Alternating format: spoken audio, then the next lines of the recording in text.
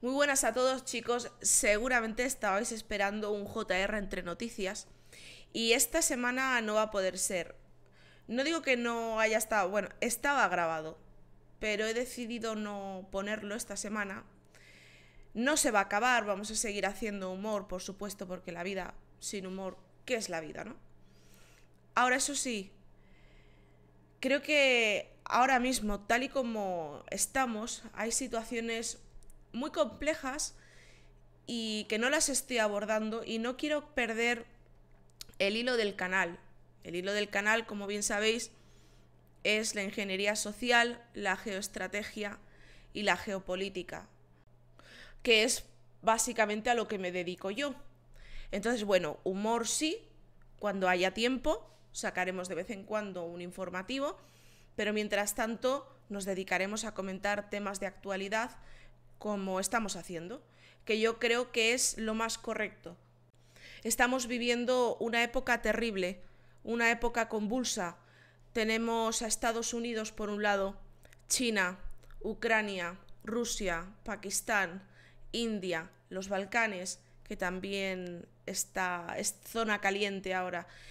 Y es imposible dedicarte al humor cuando tienes tantos temas que tratar, que los tocaremos también en directo, pero hay información que me gustaría darosla directamente a vosotros desde un vídeo y que yo espero que compartáis y que por lo menos que también si tenéis vuestra opinión, que la deis.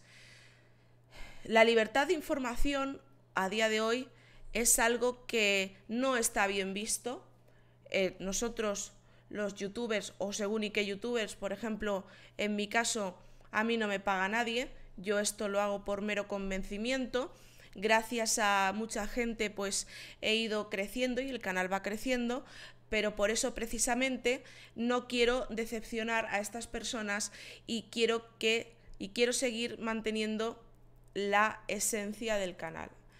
Entonces, a mí me gustaría hacer especial hincapié hoy en la batalla de desinformación que estamos viviendo, ya desde un tema más serio y desde un tema más íntimo.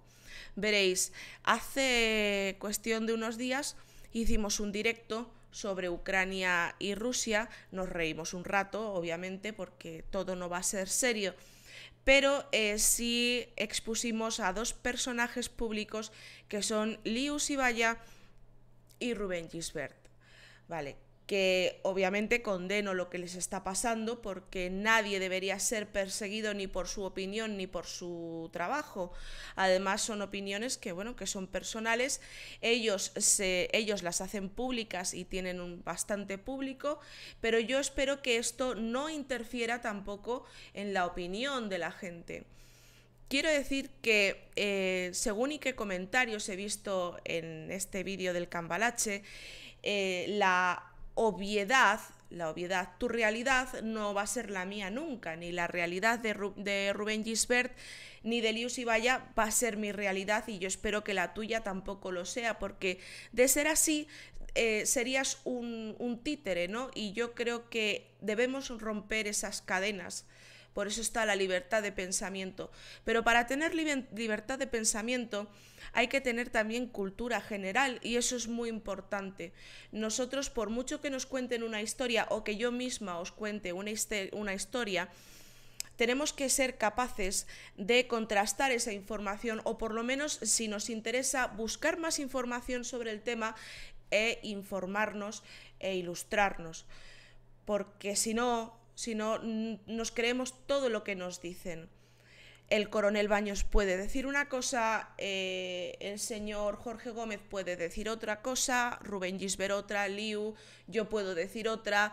Eh, y al final, al final dice, bueno, pues es que a mí esta persona me cae mejor, entonces me voy a quedar con esa opinión. Y eso no debe ser así bajo ningún concepto. Eh, el tema de la geopolítica es algo muy frío y tiene que ser muy realista y basado prácticamente en hechos históricos. Hay ciertas cosas que han pasado en Ucrania que son innegables y hay ciertas cosas que están pasando ahora, ahora en Ucrania y que son innegables. Entonces, claro, el mundo está invirtiendo los polos, está cambiando todo. Parecía ser que el globalismo ya no va a ser tan globalismo.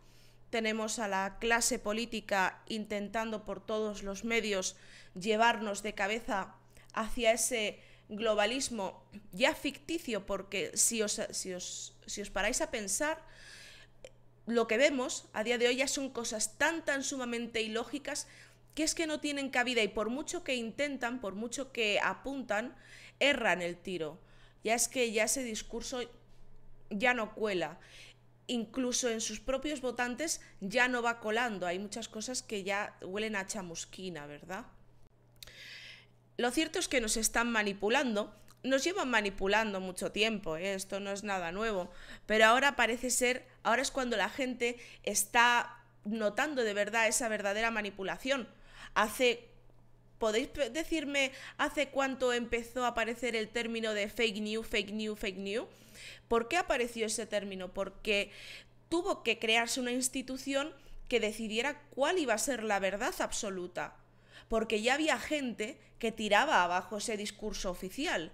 Entonces había que silenciarlo de alguna manera u otra. ¿Cómo? Pues tratándole de mentiroso o de desinformador.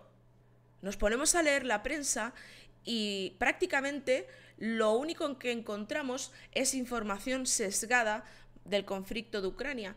Pero es que en nuestro propio país también tenemos un conflicto, estamos hablando de una guerra asimétrica. Y no nos lo dicen, no nos lo enseñan, no lo dicen en los medios de información pero es así, no es una guerra convencional porque no se utiliza armamento, no vemos lo que se ve en Ucrania, pero hay otras maneras de hacer la guerra y hay otras maneras de destrozar un país. De hecho, si somos un poco avispados, vamos a ver lo que está pasando con Marruecos, con el Sáhara Occidental, y también con Estados Unidos. Son muchos frentes que tenemos abiertos y que por mucho gobierno diferente que entre, no vamos a salir de esta situación. Por eso yo no soy partidaria nunca del hashtag solo queda tal.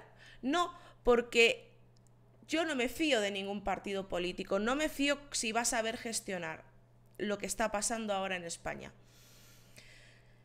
Es un asunto muy complejo, muy difícil, es muy difícil. Tenemos tantos frentes abiertos que es imposible hablar de ellos de una vez. Por eso vamos a ir haciendo vídeos cortitos para iros informando. Pero no os creáis todo lo que veis, ni en YouTube ni en la televisión. Tener sentido común y buscar información, informaros porque nosotros podemos estar equivocados. Muchas veces el informador lo que hace es poner su corazón en la información y quizás es una información sesgada. Hay que dar la información de una manera fría, muy fría. Desgraciadamente es así, eso es la información. Y claro, conforme das información, siempre va a venir la contrainformación o la desinformación. Eso es de primero de, de guerra. Con esto quiero decir que no desvíen nuestra atención. Vale, sí, se puede hablar de lo que hay fuera de España, pero es que lo que hay dentro de España es muy grave. Los casos de corrupción que están saliendo son muy graves. El conflicto que tenemos con Argelia es muy grave también.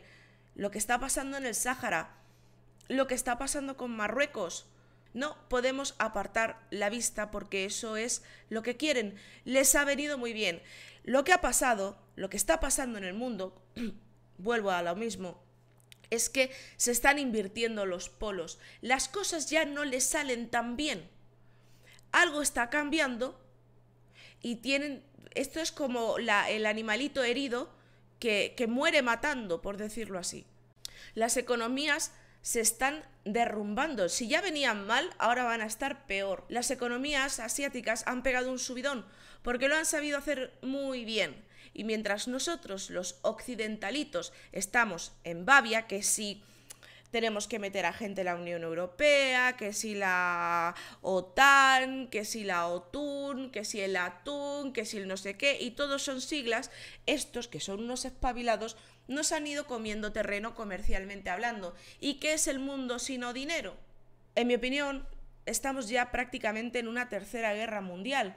Claro, no vamos a ver el conflicto como se pudo ver en la Primera Guerra Mundial o en la Segunda Guerra Mundial, pero sí estamos en un conflicto económico muy, muy grave, muy grave.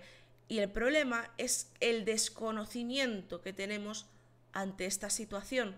Por eso creo que nuestro trabajo como comunicadores, como amigos vuestros que somos, como familia, parte de la familia que somos, porque nos veis todos los días, nos cuidáis, nos difundís las, publicaciones, hablamos a diario también por redes sociales, nuestro deber es presentaros la información tal y como viene. Y la información es muy jodida, es muy dura. Por eso no he podido emitir el informativo de humor. Porque sí, vale, está muy bien. Nos reímos un rato, pero la realidad es esta, lo que hemos estado comentando. ¿Qué es lo que podemos hacer nosotros? No podemos ir contra las grandes potencias, no podemos ir contra los Rockefeller, ni contra los Soros, ni los Rothschild. Es imposible. Pero sí podemos decir hasta aquí, podemos presentar resistencia. Claro que se puede presentar resistencia, lo estamos haciendo a diario. Y quizá, quizá el globalismo en parte no ha tenido éxito porque se ha presentado resistencia, porque tú que me estás viendo has dicho hasta aquí. Y has empezado a protestar, has empezado a entender, has abierto tu mente, has dicho, me están engañando, conmigo no lo vais a conseguir y con mi familia tampoco y difundís el contenido. Así que muchas gracias en ese sentido. Y sin nada más que decir, mm, voy a ver si no ocurre nada excesivamente grave y, y saco el informativo, aunque desactualizado pero divertido, la semana que viene. Y ya trataremos temas muy de actualidad, muy candentes en los directos y los cambalaches los dejamos para reírnos de toda esta casta política y de todo lo que les acompaña, porque realmente menudo cambalache, ¿no? Menudo cambalache. Así que un besito y nos vemos el viernes en Cambalache.